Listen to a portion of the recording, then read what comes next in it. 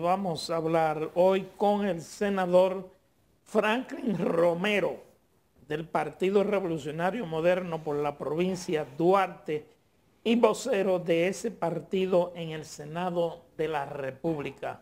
Muy buenos días, señor Romero. Muy buenos días. Eh, muy temprano, vamos, vamos a decir. Y ya no tanto, ya son casi las 8. Bueno, muy temprano para estar aquí. Porque realmente no, para, pero nosotros usted, estamos más temprano para usted, Para usted estar aquí se levantaron a las 4. ¿Me va a entender? Ah, sí, eso y la gente no sabe eso, la gente, no ve lo que está backstage. Entonces, muchas gracias por la oportunidad, Lara. Un placer verte de nuevo.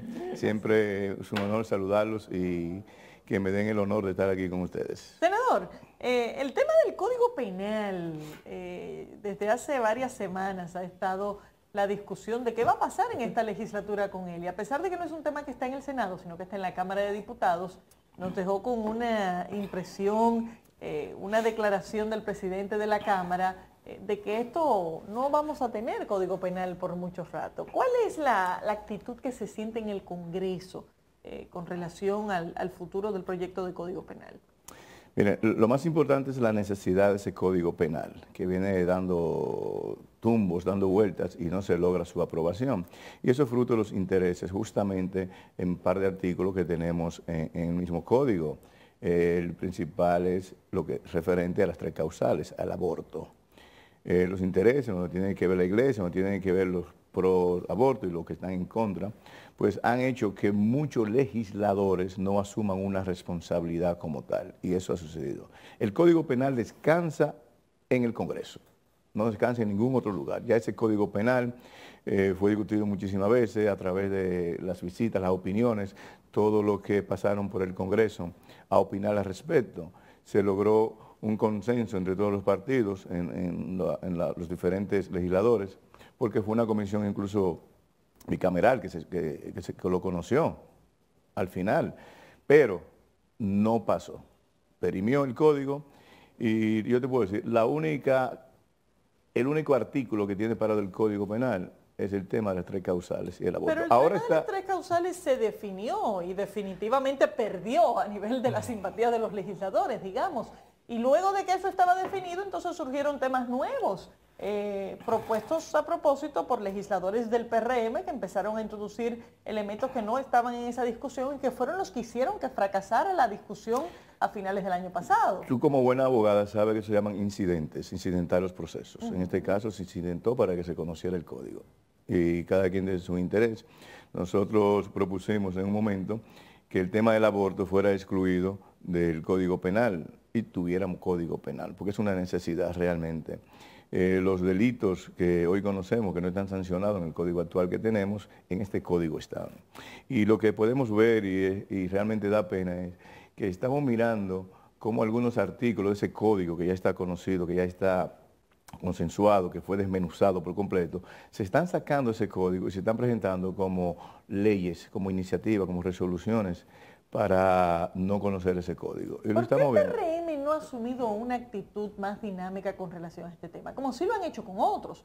Por ejemplo, con la ley de extinción de dominio, al gobierno solo le faltó sentarse en, las curules y aprobar el, proyecto. ¿Por qué, no se tiene el mismo interés con el Código Penal que todos reconocen que es una necesidad? Que hace justo un año, cuando estuvimos aquí, que usted me decía del código, de la, ley de ordenamiento territorial, la ley de extinción de dominio, porque, bueno, ya lo tenemos eh, eh, aprobado y promulgado, así como la ley de regiones únicas. ¿Cuántos préstamos le ha rechazado el Senado al gobierno? Ni uno solo. Oh. Ni uno Parece solo. que todos han sido buenos. Bueno, el gobierno lamentablemente ha tenido que recurrir a los préstamos porque en el momento en que llegó, eh, justamente llegó la pandemia del COVID, llegamos Ustedes acaban de aprobar 400 millones por un lado y 200 millones por otro. Ustedes no se han fijado en lo que significa para el PIB de la República Dominicana lo que tiene que pagar el Estado por ese dinero. Pues claro que sí, porque eso es parte del presupuesto general de la nación. Está contemplado en el presupuesto. Pero no solamente esos 212 millones que fueron aprobados en la Cámara de Diputados no han llegado al Senado, pero usted puede estar seguro que llegará a la comisión y dará un informe favorable o desfavorable, que yo entiendo que va a ser favorable. O sea que igual que en los otros gobiernos, ustedes se han convertido en un sello gomígrafo, llegó un, préstamo y aquí está aprobado, igual que en los otros gobiernos. Así es, para que usted entienda algo, eh, los préstamos que están contemplados en el presupuesto general de la Nación y que en este caso son ah, de apoyo presupuestario, pues ya habían, estado, habían sido consensuados y habían sido conocidos.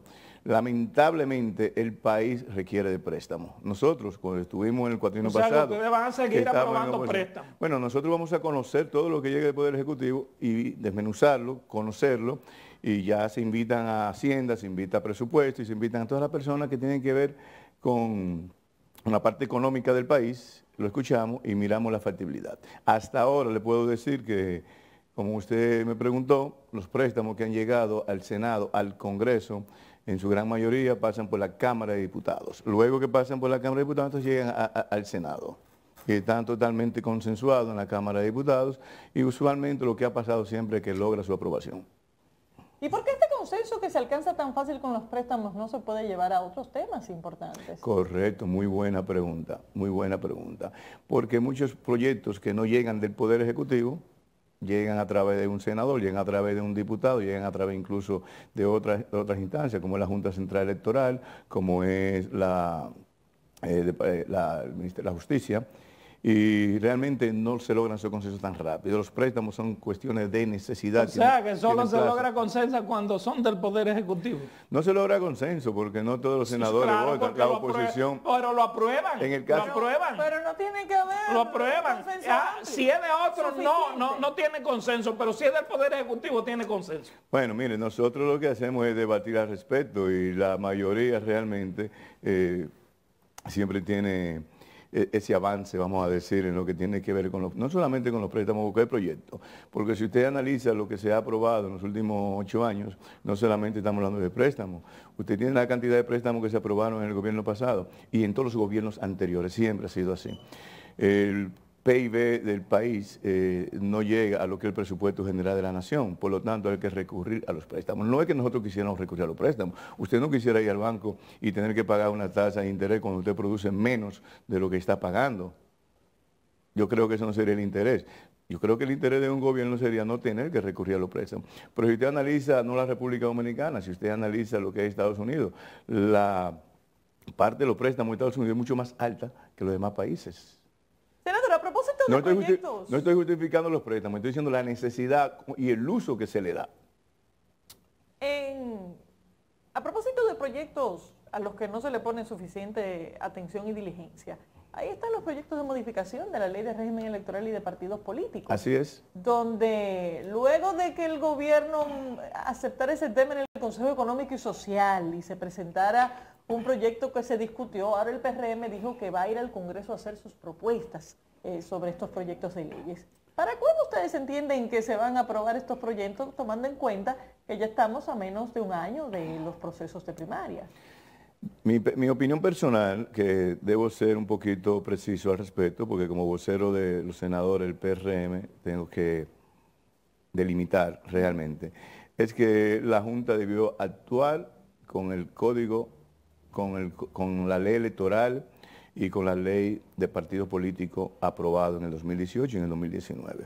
Esas modificaciones que presentaron es totalmente unas nuevas leyes, más de 100 modificaciones. Y realmente hay que entender que la Junta Central, que es la que está responsable de ejecutar a través de esta ley, pues presenta unas modificaciones acorde a lo que ellos entienden. O sea, que fue, fue excesivo el, alcance que le dio la modificación de la Junta Mira, estamos hablando de casi 100 modificaciones.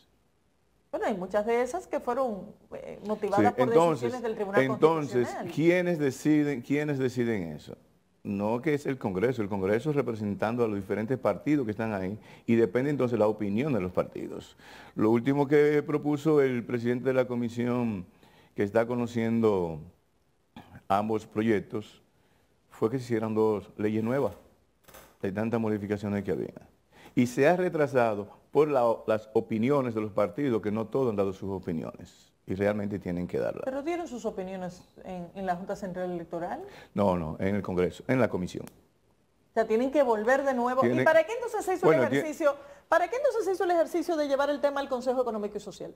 Bueno, lo que sucede es que aquí la fue, Que fue una decisión del gobierno. Bueno, pero hay cosas que pasan, primero por un lado, donde no deberían pasar, porque al final la decisión está en el Congreso. Debió llegar, al, debió llegar al Congreso y que el Congreso fuera quien pidiera la opinión al Consejo. Senador, supongo que usted, que es de la provincia de Duarte, estará enterado de todas las cosas que ha hecho el gobierno allá, ¿verdad? Sí, bastante. Porque usted asiste a todas. Por ejemplo, el presidente visitó el 8 de julio del 21 y el 26 de abril del 21 y hizo una serie de promesas ahí. Yo quisiera saber que usted me dijera cuáles han sido hechas. Por ejemplo, prometió un centro de Infotec que iban a construir, si se ha construido, si se está construyendo. Prometió un mercado de productores, prometió el asfaltado de las calles, eh, prometió la rehabilitación del Hospital San Vicente de Paul, yo quisiera que usted me dijera si se están haciendo, si la hicieron, si no se han hecho. Muy buena. Mire, primero para no ser mezquino, el centro de Infotep eh, realmente nosotros inauguramos, se le dio terminación, pero fue una iniciativa del gobierno pasado. Sí, se inauguró, se entregó y está... está Ese fue el que comenzó el gobierno pasado. Correcto, y se terminó y ya se entregó y está ya laborando. Un tremendo centro de Infotep. Eh, lo que tiene que ver con el asfaltado, allá lo primero que hicimos fue asfaltar la carretera San Francisco con Trova, que estaba totalmente deteriorada. ¿El mercado de productores? El mercado de productores se estaba realizando fuera del mercado. Hay un mercado de productores, un mercado de, de acopio. Y el presidente fue, dio un inicial incluso a través de la alcaldía y ha habido cierto problema en ese mercado. Se está construyendo un mercado de acopio fuera de donde está el mercado, fuera de donde está el mercado. ¿Y el destacamento de la policía lo hicieron? No, no había destacamento de la policía, habían 16 destacamentos y se están construyendo 7 en este momento. Se están construyendo, no se ha hecho. Bueno, se están construyendo. ¿Y las 120 viviendas? Las 128 viviendas se están construyendo. Se, está construyendo. la nueva fortaleza, no era un destacamento, como usted dice, eran destacamentos, pero se están construyendo 128 apartamentos, se está construyendo la fortaleza, se están construyendo eh, lo que son las oficinas gubernamentales, DGC, Intran, 911, Oficina Administrativa de Inés. Pero no han sido terminadas ninguna, solamente el no, de, lo que tiene que ver con la construcción. El asfaltado sí ha, sido terminado en muchísimos lugares, pero todo está en ejecución. Nosotros tenemos también el puente Ugamba, que era nuestro punto de lanza como construcción, está en un 90%. Eh, todas las obras que anunció el presidente se están haciendo. La continuidad del Hospital Regional San Vicente de Paul. ¿Cuándo se terminan? La primera fase del se dividió el hospital en tres fases. La primera fase, que va a ser lo que es emergencia y quirófanos, está listo para febrero, si Dios lo permite.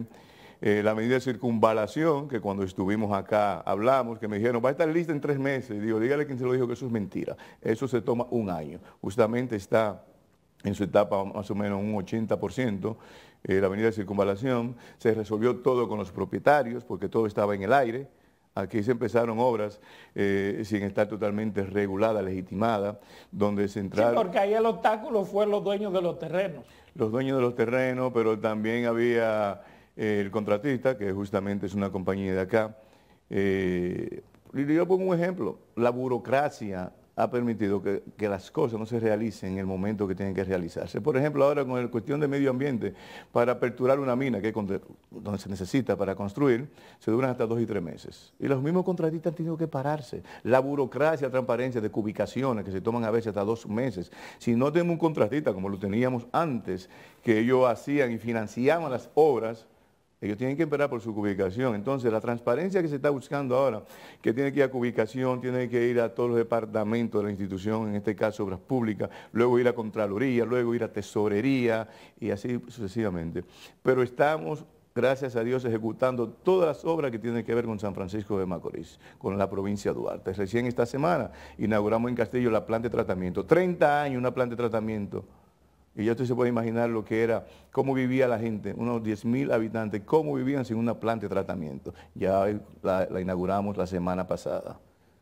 Entonces hay muchas obras que están haciendo. No hemos avanzado con la celeridad que nosotros quisiéramos, porque es lo que podemos presentar al pueblo, pero en lo que refiere a nosotros, obras que tuvieron estancada por muchísimos años, el Club Olimpia, 13 años eh, sin realizar nada, el asfaltado, como le dije, de la entrada de San Francisco de Macorís, la provincia de Duarte, 8 años sin asfaltar, la salida Villarriba Arenoso, 8 años sin asfaltar, o sea, vivíamos, era como nada. San Francisco, la provincia de Duarte ha crecido mucho a través de la inversión privada, ya se establecieron allá eh, el Bravo se instaló, se está instalando el Nacional, se están instalando ya Caribbean Cinemas, siete salas de cine estamos, eh, se están construyendo ya.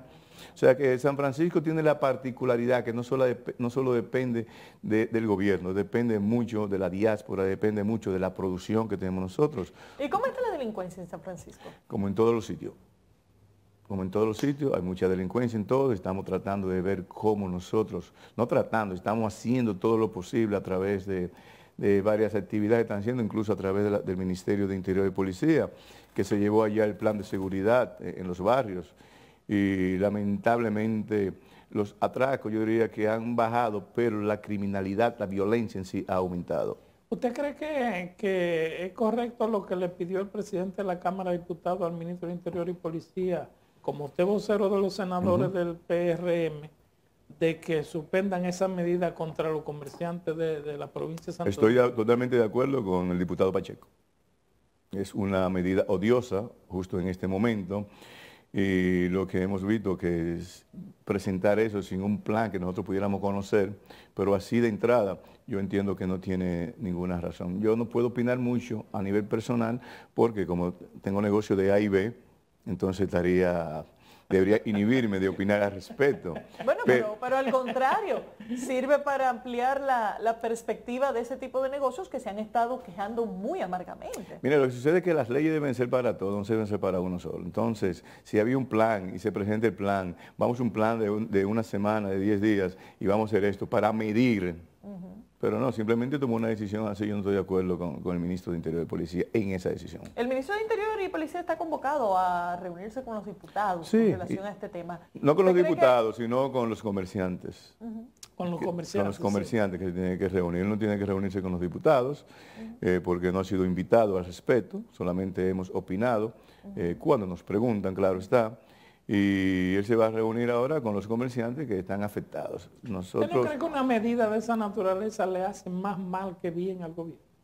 Miren, hay medidas que el gobierno tiene que tomar que le hace mucho daño a un gobierno y vamos a decir a un partido en el gobierno. Yo le puedo decir que yo admiro del presidente Luis Abinader la coherencia con la que se ha manejado, cómo se manejó en campaña y cómo se está manejando en el gobierno, con las cosas que él presentó, donde quería eh, justicia independiente, Junta Central independiente, Cámara de Cuenta independiente, que los poderes de Estado estuvieran independientes cada uno, y él se ha, y se ha manejado así. Son, son cosas que quizás no le hacen bien a un gobierno, pero sí le hacen bien a las nuevas generaciones. y hay que sembrar. usted fue escogido como vocero de los senadores. ¿Aspira usted a una nueva senaduría? Eh, bueno, como vocero ahora es una gran responsabilidad que tenemos. Ya estamos casi en tiempo electoral, mientras tanto ahora estamos en tiempo de Navidad, vamos a hablar de Navidad, vamos a hablar de las cosas positivas que tenemos. Y ya más luego entonces vamos a hablar de nuestras posibles aspiraciones.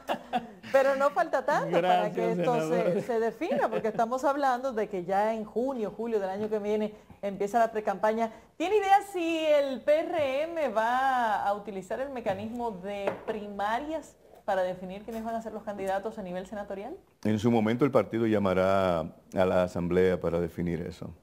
Eh, pero déjeme decirle que, bueno, que hace un año que estuvimos acá y debatimos sobre los proyectos de ley que usted me, exigía, que qué pasa con esto, con esto y con esto, como me dice Laura, del Código Penal. Todos los proyectos que usted mencionó están aprobados, gracias a Dios, todas las leyes ordenamiento territorial, la ley de extinción de dominio, regiones únicas. El ordenamiento territorial está aprobado en el Senado. No, no, no, está aprobado. La única, que ustedes, sí, sí, está aprobado. la única que ustedes no terminan de aprobar la ley de agua. La ley de agua es tan importante que la ley de agua. Pero no pero lo, vamos, pero, pero, lo, vamos, lo, vamos, lo vamos a lograr, lo vamos a lograr. Wellington Arnaud que el Ejecutivo va a mandar un proyecto nuevo. Bueno, pues nosotros estamos abiertos a recibir todo lo que venga, que vaya en pro del desarrollo de la República.